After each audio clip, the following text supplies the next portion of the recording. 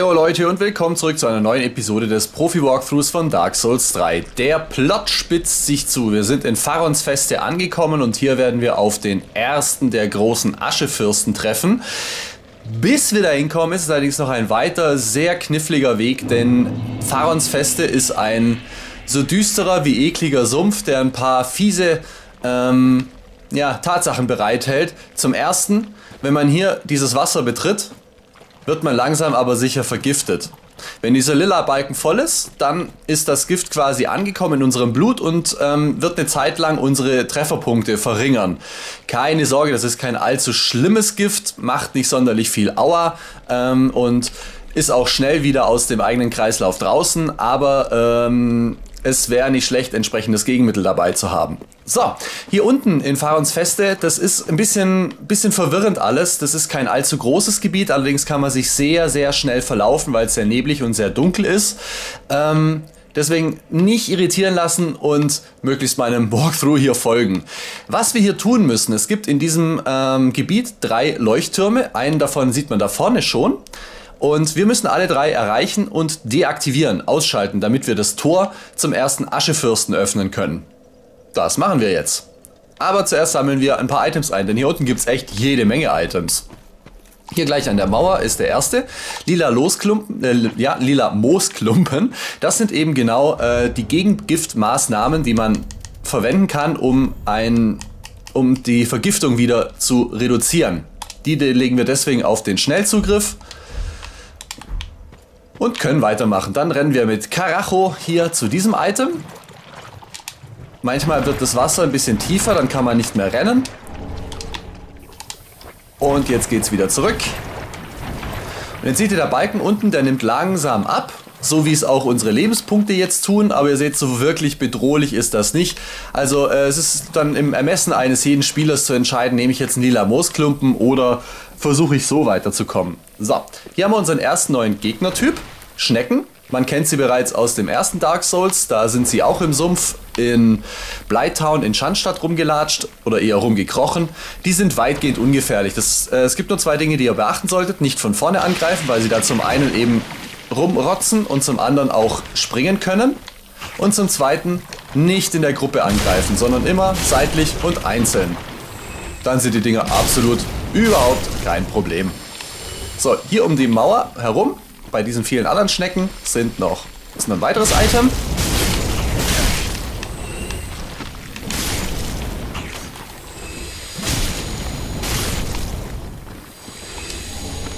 Eine zerfledderte Stoffmaske, die taugt überhaupt nichts. So, ähm, um ja so ein bisschen sicher voranzukommen, kann man auch sich immer hier diese kleinen Inseln suchen, weil die sind natürlich ungefährlich, da wird man nicht vergiftet. Aber es ist auch so, wenn man schon vergiftet ist, wie das jetzt hier der Fall ist und wir diesen Balken auf dem, ähm, ja, am unteren mittleren Bildschirmrand haben, dann ist es egal. Dann können wir sowieso hier in dem Schlons rumlaufen, ohne dass irgendwas passiert. Vergiftet sind wir so oder so. Wenn der Balken allerdings äh, langsam wieder abgenommen hat, sollten wir uns dann wieder auf sicheres Terrain begeben, weil sonst die Vergiftung von neuem beginnt. Hier liegt ein ganz wichtiger Gegenstand, und zwar eine weitere Estus-Scherbe. Ja!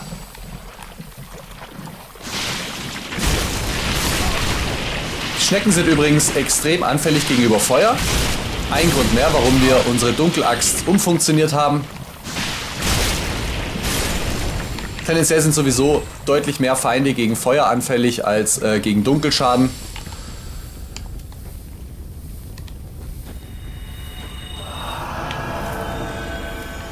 Hier hoch geht es zum ersten Leuchtfeuer, da seht ihr es. Aber wir grasen vorher noch ein paar Gegenstände ab, die hier noch im Sumpf versteckt liegen. Die sind nämlich zum Teil richtig wertvoll.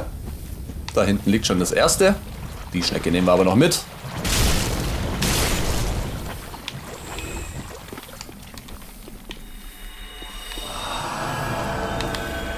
Dieser Teil des Sumpfes ist noch weitgehend ungefährlich, äh, weil hier im Grunde nur diese Schnecken rumkriechen. Wir kommen allerdings dann gleich in einen, in einen anderen Teil, wo dann ein paar deutlich gefährlichere Gegner auf uns warten.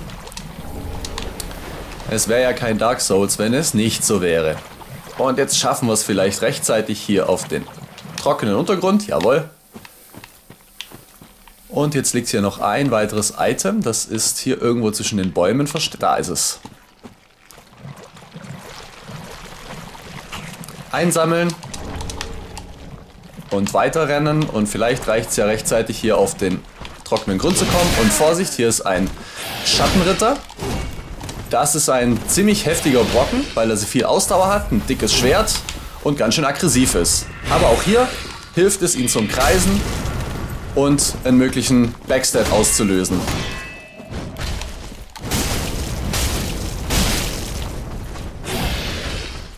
Das Gute ist, einmal getötet, bleibt er tot. Au. Das ist jetzt ein magischer Schild.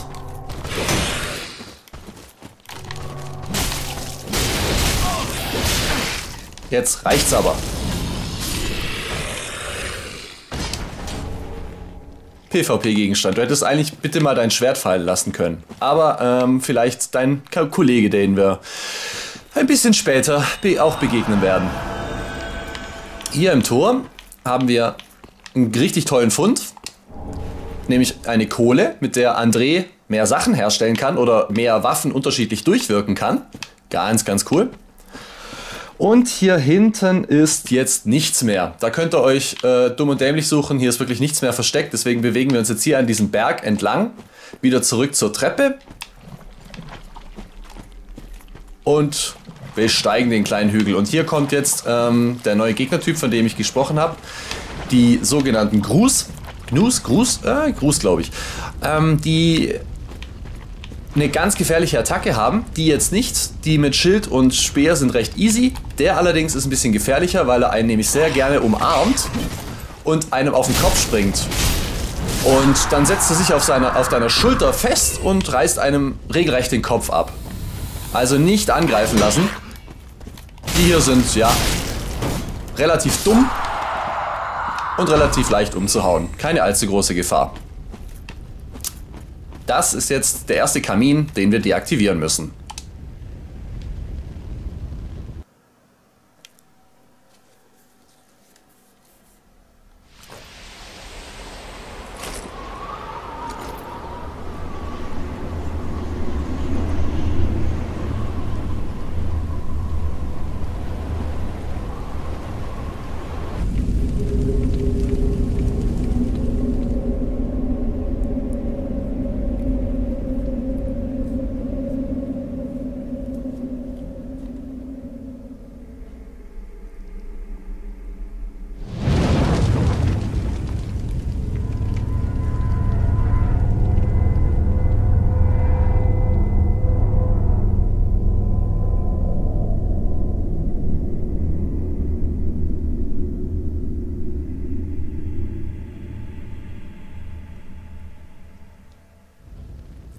Richtig geraten, in dem gerade eben gezeigten großen Gebäude wartet der Aschefürst darauf, von uns umgehauen zu werden. Alles klar.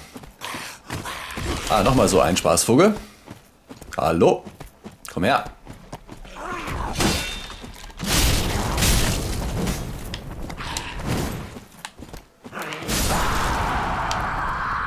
Immer agil bleiben, immer in Bewegung bleiben. Wer steht, stirbt bei diesen Viechern. Gut, äh, auf diese Berge kommt man immer über zwei äh, unterschiedliche Treppen. Die eine sind wir jetzt hochgekommen, die andere gehen wir jetzt gerade wieder runter. Die ist meistens im Grunde ja auf der anderen Seite der Uhr, wenn man so will.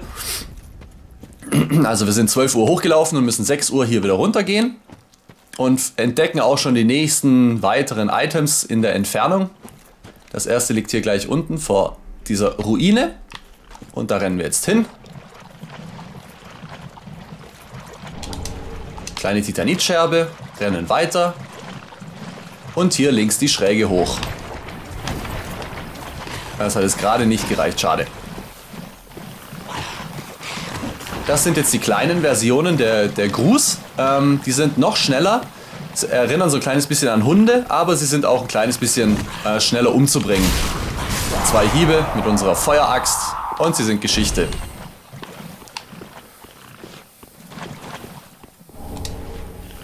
Ein Großschwert. Schauen wir mal.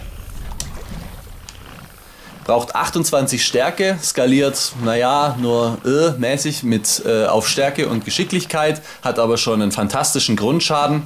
Ein Ultra-Großschwert, das sind die ganz großen Dinger. Ähm, die werden allerdings dann, wenn man sie ablevelt, super, äh, um aufzuräumen unter den Feinden, weil die wirklich ordentlich, ordentlich Schaden austeilen. So, Jetzt ist gegenüber noch eine weitere von, dieser, von diesen Ruinenschrägen. Zu der rennen wir jetzt auch rüber. Ah, hier ist es recht tief. Das Brackwasser.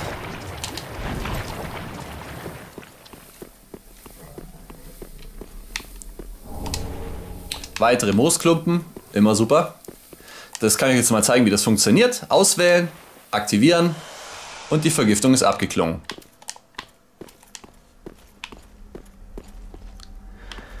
Gut, nun rennen wir jetzt links an dieser Schräge, auf der wir eben waren, vorbei und kommen schon gleich zum nächsten Hügel mit dem zweiten Leuchtfeuer.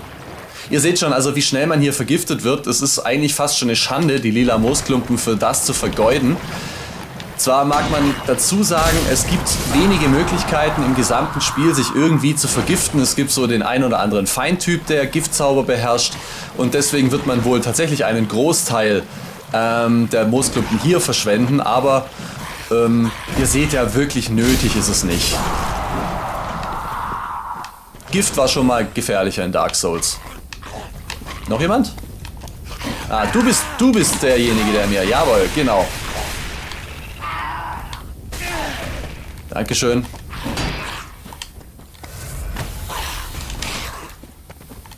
Dich habe ich vorhin erklärt. Mit seinen Kopfsprüngen und auf Ihr seht, das ist ein unglaublich unerbittliches Wesen.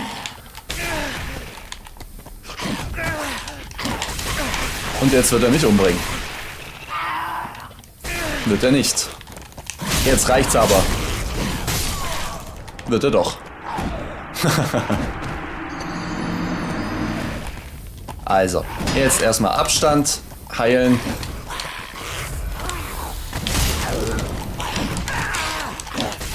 dieser Griff, er, er macht vor allen Dingen halt auch keine Pause. Er macht es immer und immer wieder.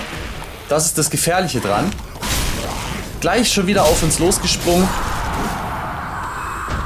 Also bloß nicht zu Atem kommen lassen. Wenn er springt, sofort wegrollen. Sonst ist halt einfach ganz schnell Schicht im Schacht. Die schlimmsten Feinde hier unten in Farons Feste, das ist mal sicher. Okay, jetzt gehen wir hier den Berg hoch. Dahinter auch, äh, hier gibt es nichts, was noch irgendwie rumliegt, also keine Sorge. Wir verpassen nichts, wir sammeln alles ein.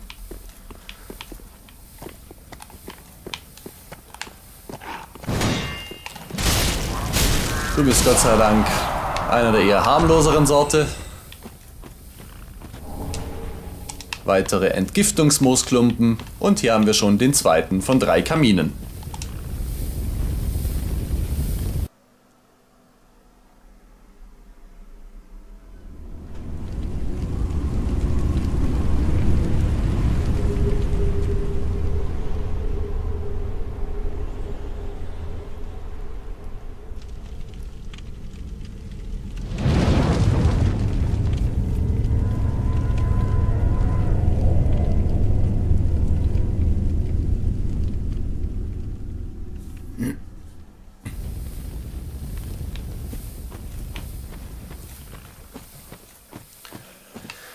Hier geht es jetzt über eine Brücke und dahinter sehen wir schon ein rettendes Leuchtfeuer, aber davor drei Gegner. Dies, das müssen wir jetzt ziemlich clever angehen, denn die zwei links und rechts sitzenden, das sind zwei Nahkämpfer, einer mit zwei Schwertern, der rechte mit einem Speer und der da hinten ist ein Zauberer, der Giftschaden beherrscht oder Giftzauber beherrscht. Da müssen wir einen nach dem anderen anlocken. Der hier am besten äh, zu guter Letzt, weil der sehr lang braucht, bis er angelatscht kommt. Das ist der aggressive von allen dreien. Ach, die haben beide ein Schild. Na gut, umso besser. Ich hatte noch in Erinnerung, dass das alles Schwertkämpfer sind und sie sind alle sehr passiv, wollen einen auf die Brücke locken, damit alle anderen aufwachen. Das macht sie so ein bisschen gefährlich. Der Schamane da hinten, der bleibt auf der Brücke. Versucht nur uns mit der Giftwolke zu erreichen. Einfach genug Abstand. Hör jetzt auf. Fünf Schlag-Kombo. Nicht schlecht, junger Mann. Du hast aber nur einen so schäbigen Schild, das hilft dir auch nichts. So, den greifen wir an, wenn er zum nächsten Mal sein Gift gespuckt hat. Warten das kurz ab. Aber da wir eh gerade schon vergiftet sind, können wir auch durch.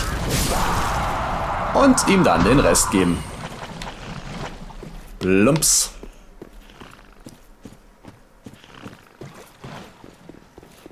Ein Leuchtfeuer, sehr gut. Da setzen wir uns gerade nieder, um uns zu regenerieren. Weil zurück müssen wir nicht mehr, es geht nur noch nach vorn. Hier die Rampe runter ist rechts ein Turm mit dem zweitwichtigsten Gegenstand hier unten in Pharaons Feste. Wir haben vorhin schon eine Estus-Scherbe eingesammelt. Hier unten liegt ein Knochensplitter, mit dem wir den Wirkungsgrad unserer Estus-Flakons verstärken. Allerdings sind hier Unmengen Schnecken drin. Also bitte nicht völlig unbedarft reinstürmen und drauf loshauen, sondern Nach zwei, drei Attacken sofort wieder raus. Die nächste Tür wählen. Weil wenn sie einen treffen, blockieren sie einen auch und dann trifft einen die nächste Schnecke und die übernächste und prompt ist man tot. Tot durch Schnecken. Das ist sehr traurig, dass wir kein Dark Souls Spiel auf seinem Grabstein stehen haben. Der Knochensplitter, wunderbar. Hier stehen wir vor dem Tor, das dann zum Aschefürsten führt, aber wir haben noch ein weiteres Leuchtfeuer zu deaktivieren. Ähm, das kommt als, ja, ich nenne es jetzt mal übernächstes. Wir haben jetzt hier noch ein paar Gegenstände einzusammeln und zwar ist hier ein ganz großer Turm und der führt in einen interessanten Nebenbereich der Pharaonfeste. Machen wir gleich und zwar geht es hier die Leiter hoch, aber vorher seht ihr überall noch ganz viele Gegenstände. Ruhe mit dir. Weg. Der erste ist gleich da vorne. Und da hinten seht ihr auch den zweitgefährlichsten Gegnertyp in Pharaons Feste. Baummagier, die haben, äh, die kämpfen mit einem riesengroßen Baumstumpf, der im Nahkampf sehr, sehr gefährlich ist und sie beherrschen Arkanmagie, die noch gefährlicher ist. Wir werden nachher ohnehin drei von ihnen angreifen. Ich versuche jetzt den hier zu vermeiden und nicht auf mich aufmerksam zu machen. Denn man sollte sowieso immer versuchen, die Typen links liegen zu lassen. Kein Spaß, sich mit denen anzulegen. Deswegen sammeln wir das ein. Kleine Scherbe und schnell wieder weg. Gehen an diesem Feuer vorbei, laufen zu dieser Insel rüber, bewegen uns wieder Richtung großes, großer Turm hier, gehen auf den Hügel hoch, um das nächste Item einzusammeln. Hört auf zu spucken.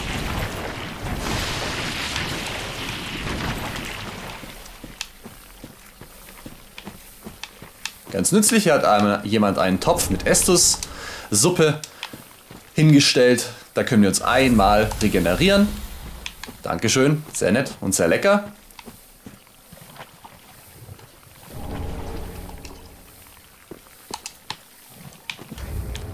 Wolfsblut Grasklinge, das klingt nach einer Waffe. Nein, was war denn das? Oh, schauen wir uns später an.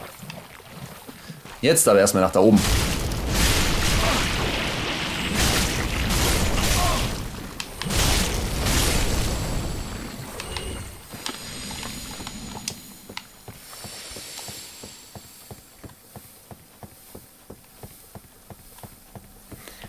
Hier oben hält das Spiel ein paar äh, tolle, aber auch ein paar nicht so tolle Überraschungen bereit. Aber zur Abwechslung jetzt erstmal die guten Nachrichten, nämlich gleich zwei auf einmal. Wir gehen noch nicht da rein, sondern gehen erstmal außen rum. Hier die Treppe rauf. Und dann treffen wir hier auf einen Crystal Lizard. Sprungattacke, normaler Hieb und er ist Geschichte. Funkeltitanit für unser Schild. Und hier ist es schon angedeutet, eine gefakte Wand. Und da dahinter verbirgt sich Asche eines Traumjägers, die ist für unsere Schreinmaid super, damit erweitert sie ihr Portfolio. Und hier treffen wir, kaum zu sehen, auf den nächsten Covenant des Spiels.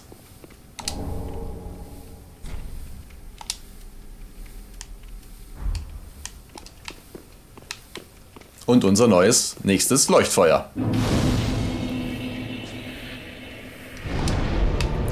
Das waren jetzt die guten Nachrichten. Jetzt kommen die schlechten.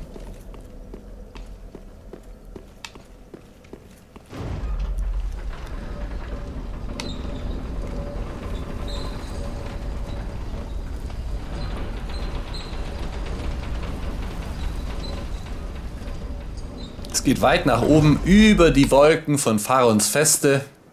Da oben ist Burg Lothric. Da hinten ist die Kathedrale des Abgrunds. Unter uns ist Pharons Feste mit den Leuchttürmen. Ziemlich beeindruckend, ehrlich gesagt. Hier oben wartet aber noch was anderes Beeindruckendes. Beeindruckend gefährlich. Da hinten nämlich der Streunerdämon. Dark Souls 1 Spieler kennen ihn schon als Asyldämon und Streunerdämon. Äh, man hat ihn in Dark Souls 1 dreimal bekämpfen müssen. Er ist hier nochmal einen Ticken gefährlicher. Unter ihn zwei Hiebe und dann Vorsicht, weil er mit seinem Schwanz ausschlägt. Er hat auch diese Stampfattacke, die man vom Streunerdämon aus dem ersten Teil kennt. Ein, zwei Hiebe, Schild hoch. Aufpassen. Und seinen Hammer unbedingt vermeiden. Auf Distanz gehen empfehle ich auch nicht, weil er nämlich dann anfängt, Steinbrocken um sich zu werfen und denen auszuweichen ist nahezu unmöglich. Das war sein Griff. Damit hebt er einen hoch und wirft einen durch die Gegend, was sehr viel Schaden austeilt. Also auch das ist ein Indiz dafür, sich nicht vor ihn zu bewegen. Warum das jetzt getroffen hat, das ist jetzt auch fraglich. Wow. Was war denn das für eine Hitbox?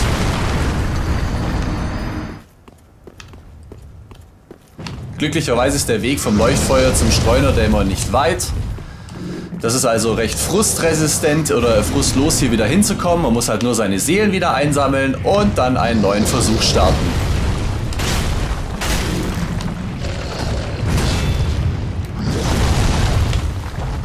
Immer das Schild oben haben, weil der Typ verspeist Ausdauer zum Frühstück. Die Sprungattacke ist deswegen auch so gefährlich, weil dadurch die Markierung flöten geht und man die neu markieren muss. Nie vergessen bitte. Und immer hinter ihm bleiben. Denn das Gefährlichste, was er machen kann, ist seine Griffattacke. Und das macht er sogar schon, wenn man neben ihm steht.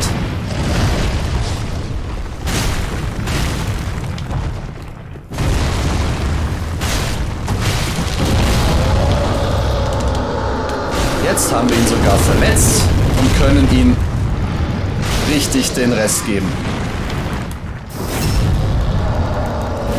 Und das war's mit dir. Wir bekommen 5500 Seelen und seine Seele, die wir bei Lurtrick umtauschen können. Hier liegt Glut herum. Eine Großaxt. Jo, gerade ist wieder meine Xbox ausgegangen. Sorry für den Schnitt, ihr habt nichts verpasst. Es gibt hier noch ein kleines Geheimnis zu verraten. Und zwar werden wir sehr, sehr, sehr viel später im Spiel auf Havel treffen. Wir kennen ihn schon aus dem ersten Dark Souls. Da war es ein ziemlich harter Brocken, ein ziemlich böser, fieser Gegner mit fiesem Schild, fiesem äh, Drachenzahn als Waffe und einer ganz fetten Rüstung. Und wenn wir ihn bezwungen haben und hierher zurückkehren, wo wir den Streunerdämon umgehauen haben, wird hier an dieser Mauer Havels Rüstung liegen falls ihr Bedarf an diesem Ding habt, aber man muss wirklich sehr viel Belastung haben, weil das Ding unglaublich schwer ist, hierher zurückkehren und sich über Havels Rüstung freuen. Ein echt, echt gutes Versteck, muss ich sagen, weil man eigentlich, wenn man dann die, äh, wenn man Havel besiegt hat, es gibt keinen Grund mehr hierher zurückzukehren. Absolut nicht. Farons Feste ist abgegrast, das ist alles erledigt. Warum man hierher nochmal zurückkehren sollte, das ist echt gemein. So, nun hier an der Mauer entlang diesen kleinen Vorsprung entlang kommen wir noch auf die andere Seite dieser hohen Brücke, Mauer, Turm, whatever. Und hier warten gleich drei Crystal Lizards auf uns. Da ist schon der erste und ganz dahinter ist der nächste. Jetzt müssen wir den irgendwie jagen, ohne den anderen auf uns aufmerksam zu machen, weil der sonst verschwindet. Deswegen am besten Richtung Wand locken. Du bleibst jetzt hier. Komm, her. Große Titanitscherbe. Die Items lassen wir erstmal liegen, die rennen nämlich nicht weg. Anders als du, kleiner Racker hier. Das war's für dich. Nochmal eine große Scherbe. Blitzspeer, das ist ein Angriffswunder. Ein sehr cooles Teil. Wir werden auch bald mal auf einen, ja, sehr viel später auch im Spiel, auf einen Boss treffen, ähm, der diesen Blitzspeer beherrscht. Ein ganz, ganz gemeiner Zauber. Hier oben ist der dritte Crystal Lizard. Der wird allerdings bewacht. Von Untoten, die ein bisschen zu viel gefeiert haben. Gell, ja, der Kopf tut weh. Ich kenne das. Die sollten wir allerdings tatsächlich, ich glaube, das ist auch einer, der schläft, umhauen, weil hier oben einer mit einer Laterne wartet, der nämlich alle aufweckt, wenn er uns bemerkt. Und dann haben wir gleich alle an der Backe.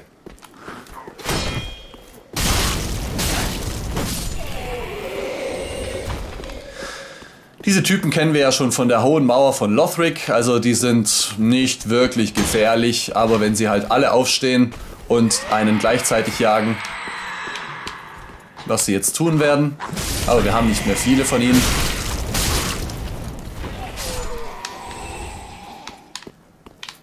Gut.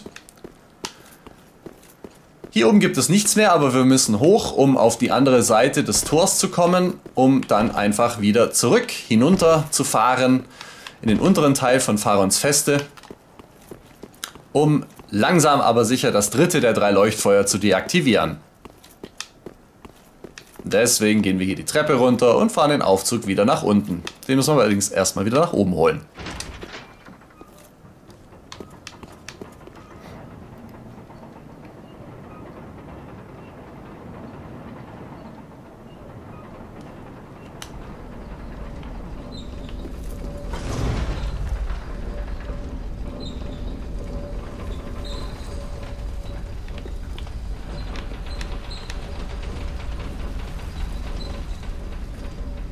Ein sehr gefährlicher Abstecher nach hier oben, aber auch ein sehr nützlicher, was wir hier alles abgegrast haben. Das ist echt super. Deswegen machen wir jetzt auch mal einen kurzen Abstecher nach Hause in den Feuerbandschrein, weil es da jetzt einige Sachen zu machen gibt.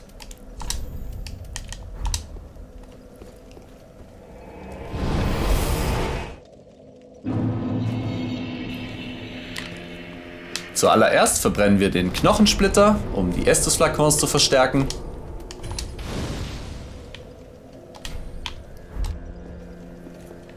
Zum Zweiten geben wir der Schreinmaid unsere gefundene Asche. Ah, well met, Ashen One. How may I... Ashen One, what woeful umbral ash is this? This barren dust, stuff of a fool, won't yield aught. Where didst thou happen upon the stuff? Tell me for the sport. Oh, yes, I see. Clinging to lofty dreams in this dying world, more's the pity. It must come from one most foolish indeed. Wouldst thou not agree?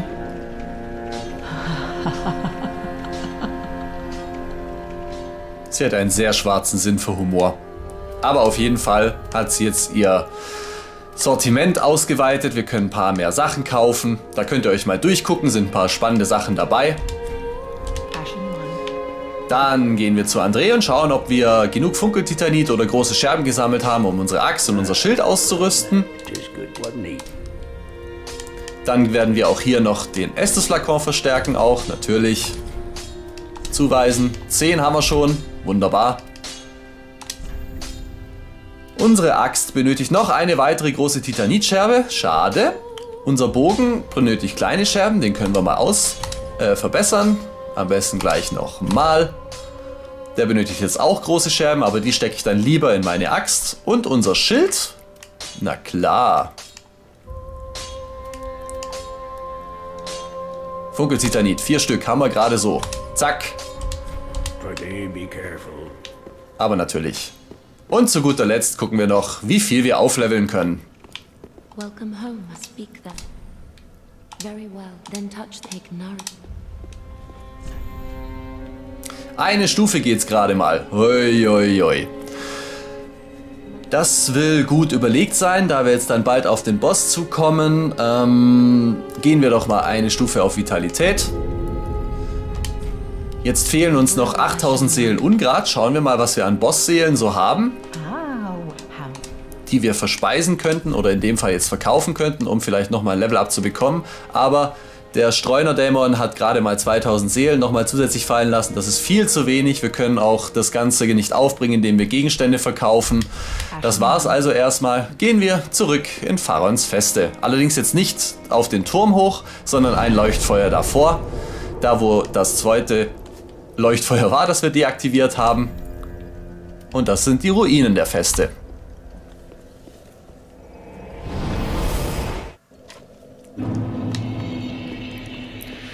Wieder zurück gehen wir geradeaus weiter, die Rampe nach unten und hier liegt links oder rechts ein Item. Nicht erschrecken, das ist unser Schatten.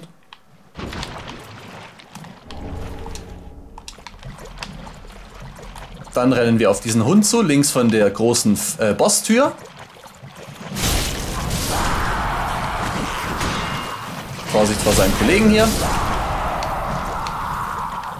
Und dann seht ihr hinten einen alten Bekannten, die Krabbe. Das Gute ist, wenn wir zu diesem weißen Baum rennen, werdet ihr euch bestimmt erinnern, was dann passiert.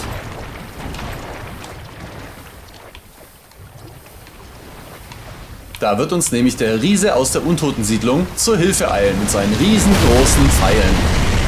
Und da geht's schon los. Deswegen einfach auf Abstand gehen, Schild hoch und den Riesen alles machen lassen.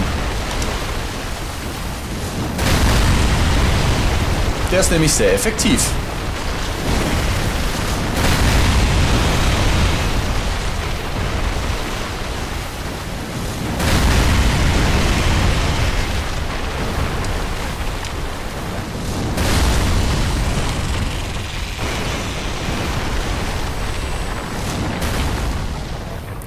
Wappenring lauernder Drache. Verlängert Wirkung von Zaubereffekten. Ist für uns als Herold jetzt nicht so spannend. Gut, dann bewegen wir uns jetzt hier an der Mauer entlang entgegen des Uhrzeigersinns. Es ist leider zu tief, als dass man hier rennen könnte. Da braucht man ein kleines bisschen Geduld. Aber hier warten Gott sei Dank keine Gegner. Hier wird es wieder ein bisschen flacher. Hier warten jetzt wieder Gegner auf uns, nämlich drei weitere Gruß. Der eine sitzt hier schon und schläft. Gott sei Dank ist hier keiner dabei, der einem auf den Kopf springt. Komm her. Einzeln anlocken. Markieren. Schild hoch. Auspowern lassen und dann draufhauen.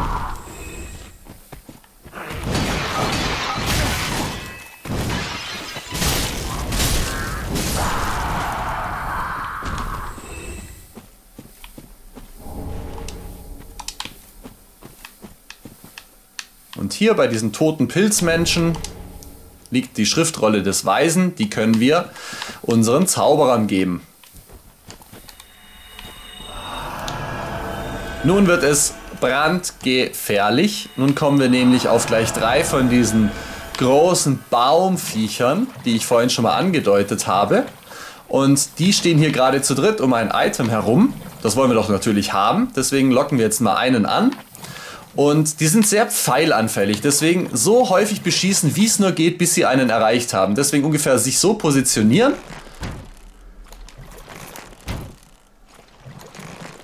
Die kommen nämlich relativ schnell angerannt. Auf festen Boden. Und diese Totenköpfe, die sind Homing Missiles. Die suchen einen. Vorsicht.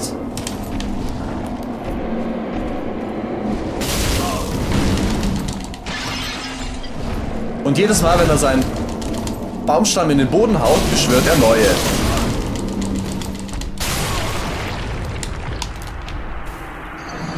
Tja, das passiert, wenn man zu unvorsichtig ist. Dass ich hier in Farons Feste so oft sterbe, ist nur zur Veranschaulichung, wie gefährlich dieses Gebiet ist. Äh, ja. Nein, wie gesagt, diese, diese Baumviecher, die sind wirklich sau gefährlich, weil sie, die, die Zauber, die die beherrschen, sind einfach fern von Gut und Böse. Die Kombination aus Nah- und Fernkampf ist so unglaublich gemein. Dieser Flächenzauber ist gefährlich.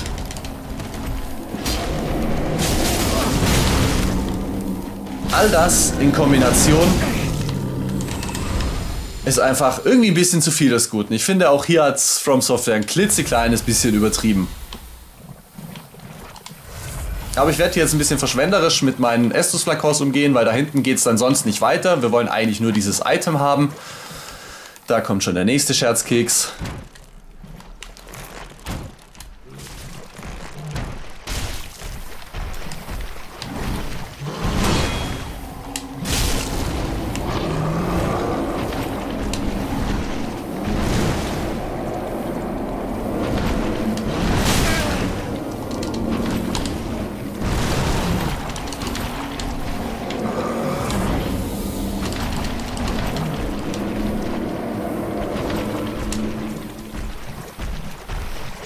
Geduld und Spucke.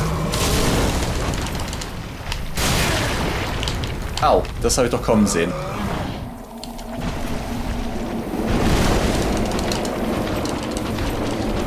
Weg, weg, weg, weg, weg. Heilen. Und den letzten Angriff. Was war's mit dir? Einer von den dreien lässt den Fahrradschwarzbogen fallen. Ein ganz cooles Teil. Und den dritten werden wir jetzt nicht angreifen. Ich werde einfach nur hinrennen, das Item einsammeln und wieder wegrennen. Ihr könnt mich jetzt Feigling nennen, wenn ihr wollt, aber ihr seht, was das für Typen sind. Mit denen ist nicht zu spaßen. Und das Risiko möchte ich jetzt nicht eingehen, hier meine 11.000 Seelen zu verlieren. Nun rennen wir zurück zum Leuchtfeuer, resetten die Welt. Und dann geht's schon weiter.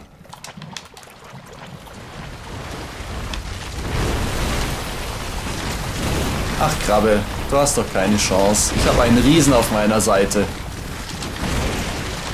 Leave me alone.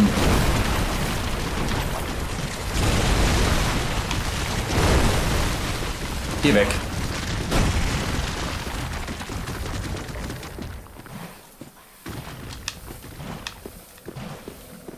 Tut gut, wieder hier zu sein. Der Abstecher war jetzt noch fast noch gefährlicher als den hoch auf den Turm. Aber wir haben es jetzt fast geschafft. Jetzt gibt es nur noch eine Handvoll Items und ein Leuchtfeuer und dann geht's endlich zum Boss. Und zwar orientieren wir uns jetzt so, dass wir hier zu unserer Leiter gehen, wo wir den Turm hochgeklettert sind, um dann in diese Richtung zu blicken. Da links ist das Tor, das zum Boss führt.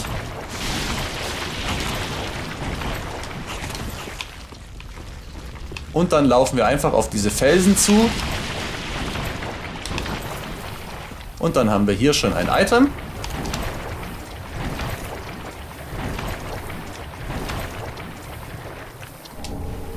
Komplettes Rüstungsset. Dann bewegen wir uns um den Turm herum.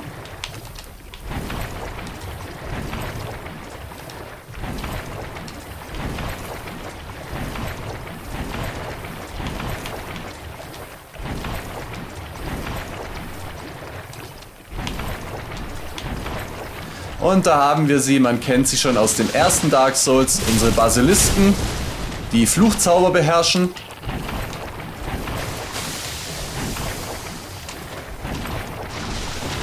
Vorsicht vor diesem Giftnebel, wenn der einen...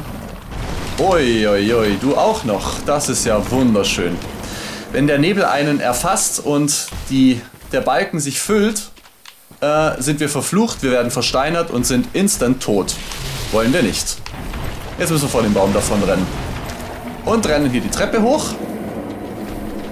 Zum dritten Leuchtfeuer. Du bleibst unten, bitte. Eieiei.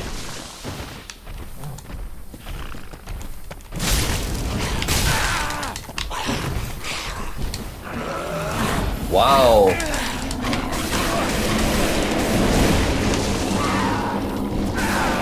So sollte es nicht laufen. Wir flüchten, wir flüchten, wir flüchten. Aktivieren nebenher mal kurz das Feuer. Deaktivieren es. Entschuldigung, dass es jetzt ein bisschen hektisch wird, aber naja,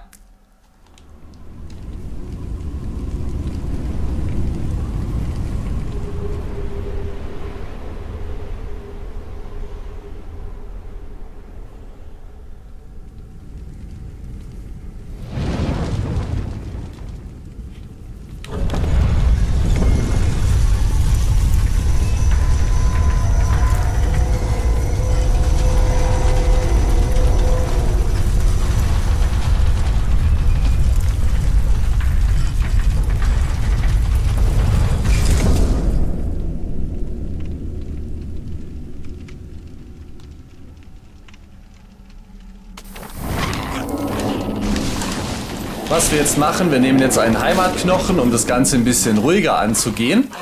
Ich fliehe jetzt einfach irgendwo mal in eine Richtung.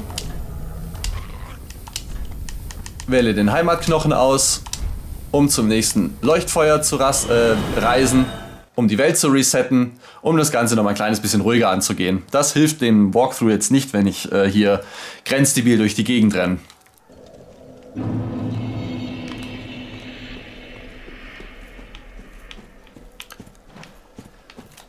Es gibt nämlich nur noch zwei, drei Sachen einzusammeln, dann haben wir es endlich geschafft. Hierfür rennen wir auf das Tor zu, rechts am Tor vorbei und entdecken eine kleine Höhle.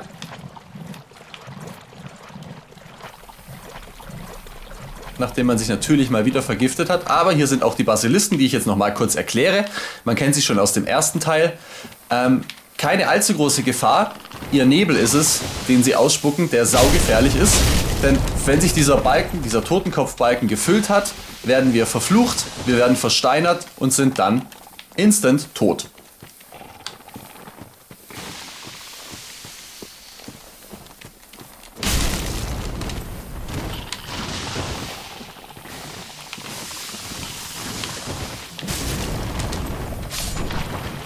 Eigentlich müsste ich jetzt warten, bis dieser Totenkopf abgeklungen ist, weil sonst wird es einfach viel zu gefährlich.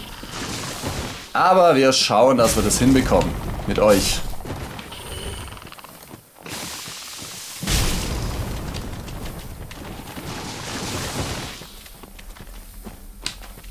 In der Masse sind sie gefährlich ohne Ende. Hör jetzt auf. So, noch einer? Ja klar.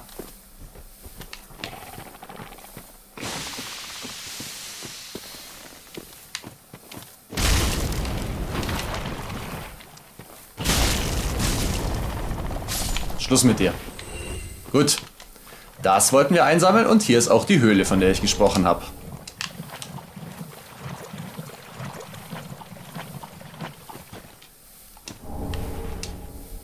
Eine goldene Schriftrolle. Auch das ist für einen unserer Zauberer geeignet.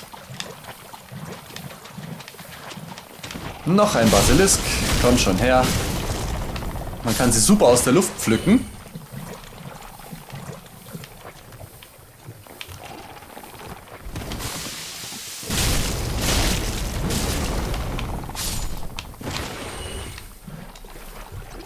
Nun trennt uns noch ein weiteres Item vor der Rückkehr zum Tor, das zum Boss führt.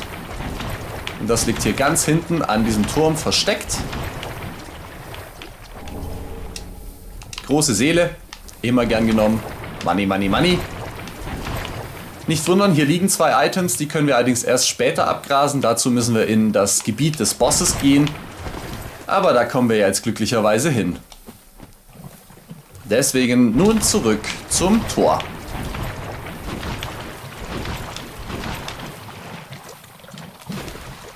Bist tot? Ja, du bist tot.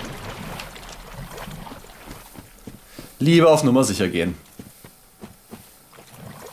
Einfach wieder gegen den Uhrzeigersinn an dieser Mauer entlang.